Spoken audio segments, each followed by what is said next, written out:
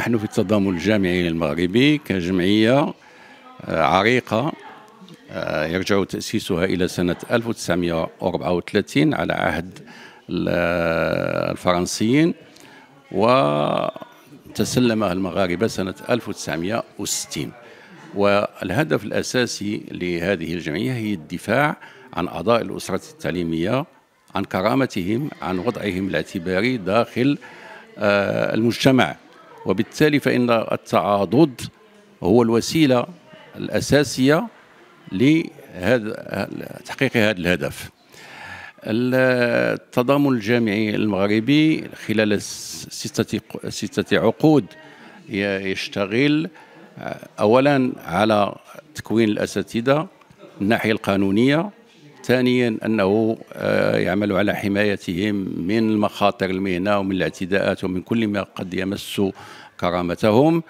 آه، من الأدوار الذي التي نقدمها هي الاستشارة القانونية في ما يتعلق بشؤونهم وممارساتهم حتى لا يكونوا ضحية للأخطاء الإدارية. وبالتالي من جهة أخرى أننا نعمل على تركيز ثقافة الحق والواجب باعتبار أن التعليم ليس منصبا وليس آه، درجتان ولكنه رسالة.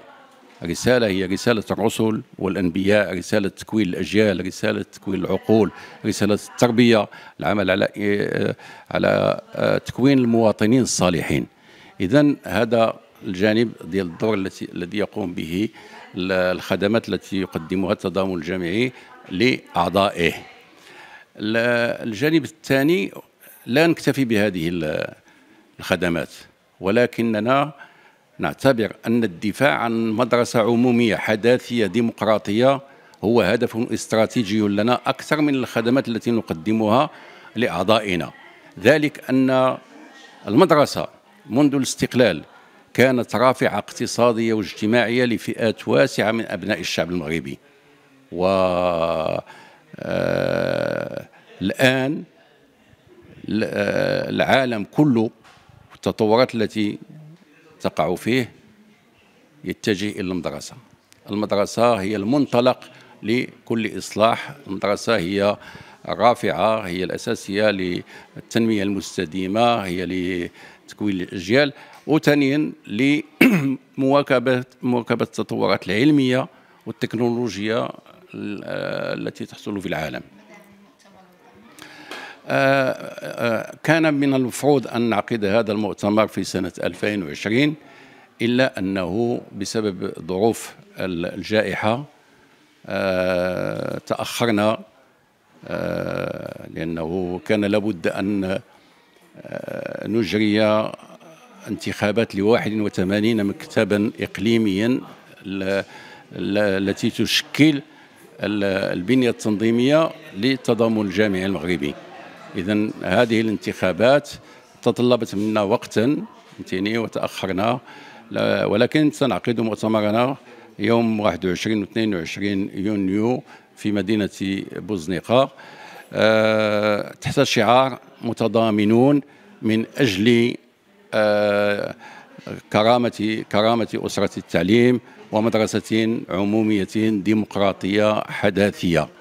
هذا هو الشعار ديالنا. فنحن متضامنون من أجل كرامة كرامة الأساتذة متضامنون من أجل المدرسة ولكن ليست أي مدرسة إنما هي مدرسة التي تضمن المساواة وتضمن الكرامة وتضمن تكوين المواطنين آه، الصالحين. إذا سيكون المؤتمر مناسبة. لدراسة الأوضاع أوضاع الهيئة التعليمية آه، المشاكل المطروحة وما أكثرها المشاكل المشاكل التعليمية مشاكل متجددة ولا أدل على ذلك من الإصلاحات المتكررة التي آه، تقدمت بها الإدارة والدولة.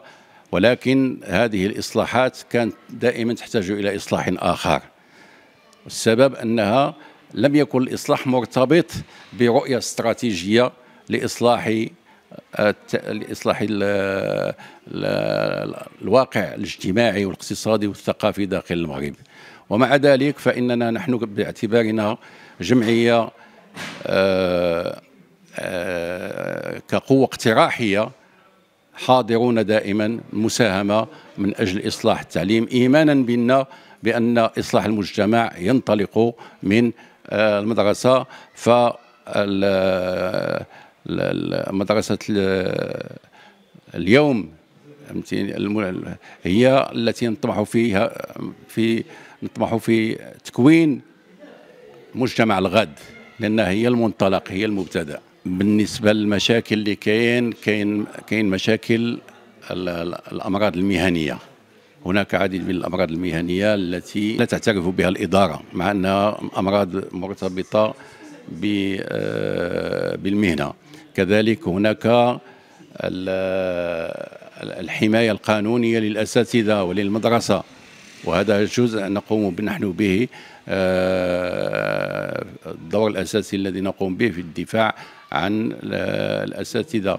هناك مشاكل الاكتضاد آه، الاكتضاد في هناك كذلك مشاكل المناهج والبرامج فتكوين مواطن عقلاني مواطن يؤمن بالعلم